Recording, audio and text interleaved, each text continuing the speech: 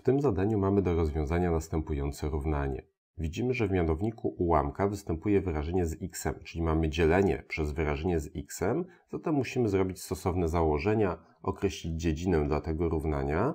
Napiszmy, że to wyrażenie, które mamy w mianowniku, czyli x plus 2, musi być różne od 0, ponieważ nie wolno dzielić przez 0, czyli x musi być różne od minus 2.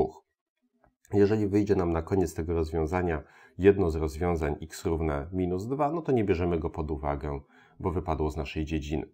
Teraz, gdy już mamy dziedzinę, to możemy pomnożyć to równanie stronami przez ten mianownik, aby pozbyć się ułamka.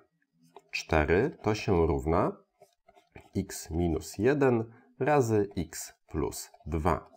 Bez takiego założenia nie możemy wykonywać takiego mnożenia równania stronami przez wyrażenie z x, co do którego nie wiemy, czy przypadkiem jest równe 0, bo równania nie można mnożyć stronami przez 0. Wówczas wszystko by się wyzerowało. Gdy mamy takie założenie, to takie mnożenie, jak wykonaliśmy, jest ok. No to wymnażamy nawiasy po prawej stronie x razy x to jest x kwadrat, x razy 2 to jest 2x, minus 1 razy x to minus x i minus 1 razy 2 to minus 2.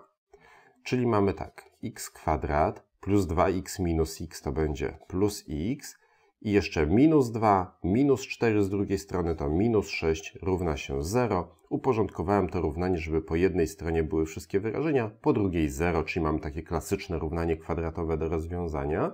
I teraz możemy je rozwiązać na przykład licząc deltę, albo też stosunkowo łatwo zauważając postać iloczynową lewej strony. Mianowicie szukamy dwóch takich liczb, które po dodaniu dadzą nam plus 1, a po wymnożeniu minus 6. No i łatwo to odgadnąć, że to jest trójka i minus dwójka, czyli będziemy mieli x plus 3 razy x minus 2. 3 razy minus 2 to jest minus 6, a 3x minus 2x to będzie plus 1x, czyli to jest postać iloczynowa lewej strony, z której już łatwo widać, że albo x plus 3 musi być równe 0, albo x minus 2 ma być równe 0, czyli x jest równe minus 3 lub x jest równe 2. To są dwa rozwiązania tego równania. Sprawdzamy, czy należą do dziedziny. Należą. x ma być różne od minus 2. Tu nam takie rozwiązanie nie wyszło, więc zarówno x równe minus 3, jak i x równe 2 jest dobrym rozwiązaniem w tym zadaniu.